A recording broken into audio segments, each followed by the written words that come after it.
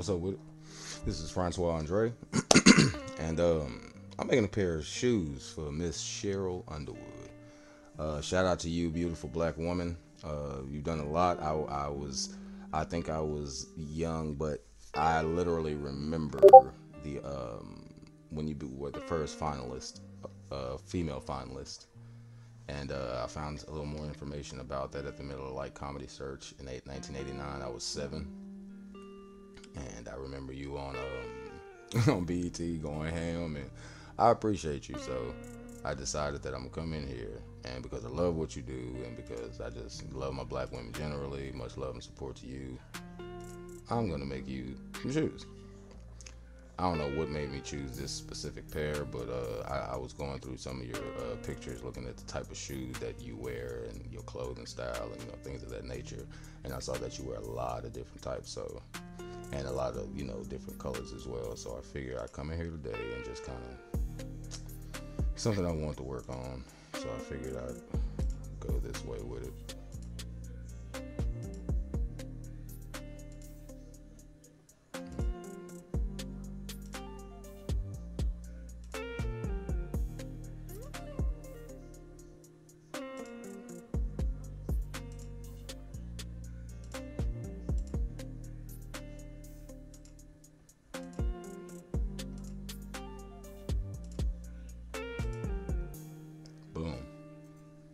Simple, nice, yet elegant. You know what I'm saying? Just something just I mean not quick because, you know, but I, I'm pretty good at this stuff, so but uh yeah, so we're gonna hit you with the logo wizard. Oh, it took me the way back up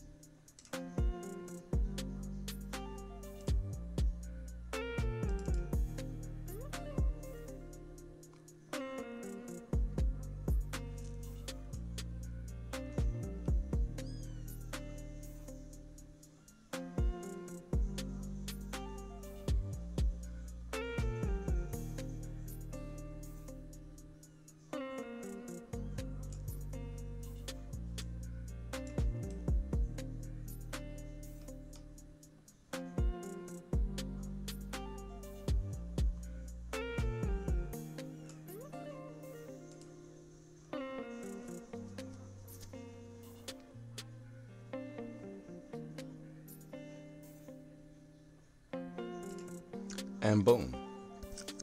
Didn't even take five, ten minutes, maybe ten minutes at the most, not even that.